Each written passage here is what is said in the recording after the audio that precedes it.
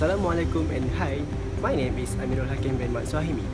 I am 21 years old and came from Muar Johor. I am an engineering student. I have a diploma in electrical engineering and now I'm pursuing my degree from Faculty of Electrical and Electronic in University Tun Hussein Malaysia. My passion is to photography, videography, barbering and also entrepreneurship.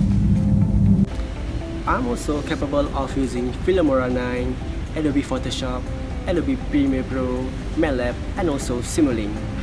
I am passionate, hardworking, creative and love to learn a new thing. I have a barbershop that I run since 3 years ago. I also work for vlog video and also personal request video.